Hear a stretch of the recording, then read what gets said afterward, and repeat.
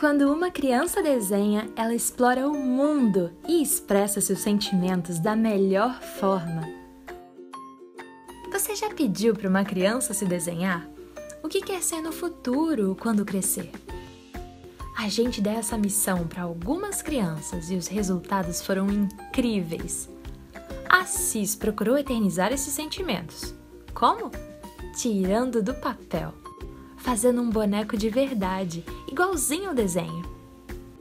E agora você também vai poder fazer o mesmo. É só pedir para uma criança fazer um desenho com o tema O que quero ser quando crescer. Aí cadastra o desenho no site e pede um montão de votos. Vão ser 75 chances de ganhar.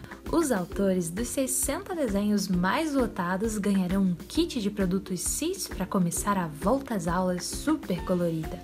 Dentre os mais votados, 15 desenhos serão escolhidos pelo júri CIS para serem transformados em bonecos exclusivos.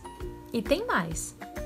O júri também vai escolher outros 15 desenhos dentre todos os participantes, sem importar o número de votos.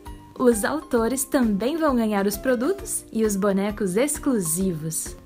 Participe!